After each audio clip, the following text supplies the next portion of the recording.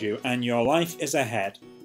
Well, let's not get too dramatic about it, but it is true to say that you don't want your whole statement to be harping on about what you've achieved at school.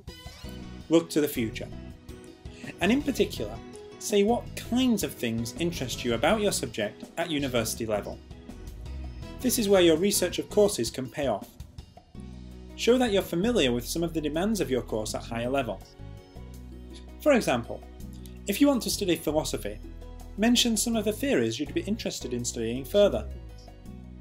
Having studied some ethical philosophy at school, I'd be interested in studying the writings of Aristotle in greater depth.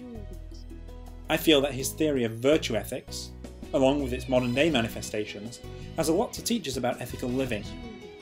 In particular, I'd like to explore the ramifications of the application of Aristotle's theory on the political stage. Or, let's say you want to study law. Well, law is a big area. You've got criminal law, business law, international law, human rights law, tort law. What aspects are you interested in?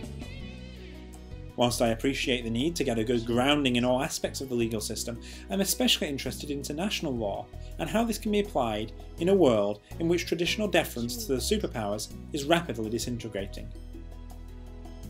Are you interested in engineering? What kind? Chemical, civil, electrical? I hope that I'll be able to apply my sound foundation in maths to the real world by focusing on civil engineering.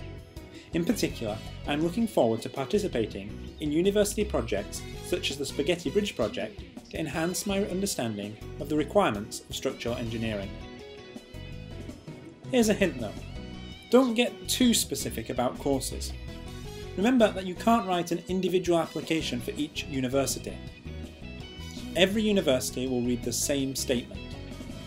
So be specific enough to show your interest, but vague enough so that your statement could be read by any admissions tutor in any university.